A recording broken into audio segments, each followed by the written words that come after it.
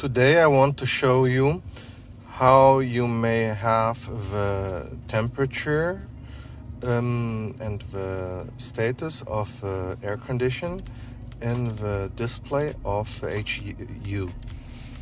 As you see, when I'm hitting here, it changes, of course, like always. And when uh, I'm changing it, here I get a pop-up which shows me which status I'm having, for example, auto, and um, how the airflow is set. For example, diffuse at the moment, but it could be to medium changed or to focus. Yeah, like here below as well. Yeah. It's just an additional information which is put on the display.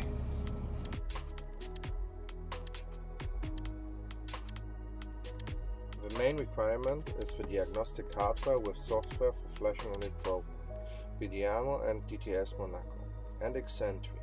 Do not ask me if I have a software or if I may provide it to you. I don't have them.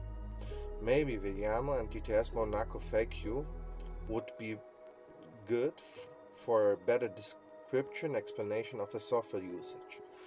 If you don't have the software, search for a Mercedes coding specialist nearby you who may perform the task for you.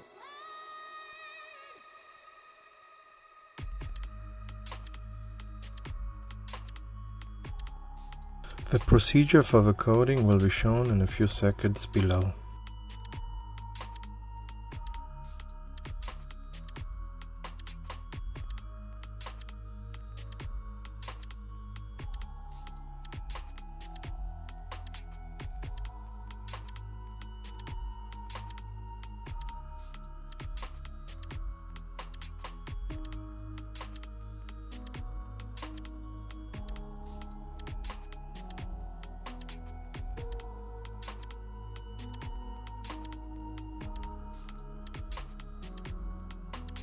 You need or want further FAQ for the Mercedes coding, in the description of this video you will find a link to the big and always updated FAQ news for Vediamo and DTS Monaco. If you want to motivate me to create further such videos, please subscribe my channel and turn the bell on. Then I will try to create further content for this channel and add them so that you may watch and learn more.